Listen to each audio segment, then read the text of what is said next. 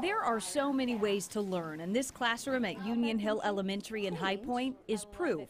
What I like about it is you're not sitting at a hard desk all day. The flexible seating, balls, cushions, rockers, rugs, and chairs, and multimedia tools are part of the school's new learner centered classrooms. The students seem extremely engaged, they seem happy to be here, and we want school to be a happy, safe, warm, relaxing environment for our students. Principal Shayla Savage says the new classrooms reflect that students learn differently.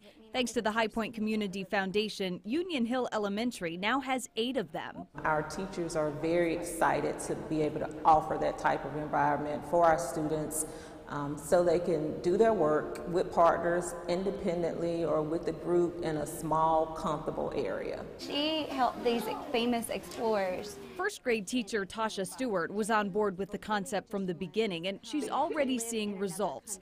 The kids are focusing better and seem more engaged. Once you get the kids incited, you get more out of them. Definitely be able to set that expectation higher for them, and if you have something they want to work for, they'll reach that. And fifth grader Cameron Barrett gives the learner centered classrooms an A grade. It looks more fun because um, you have a variety of chairs and they're comfortable. So that's what I really like. In High Point, Katie Nordeen, Fox 8 News.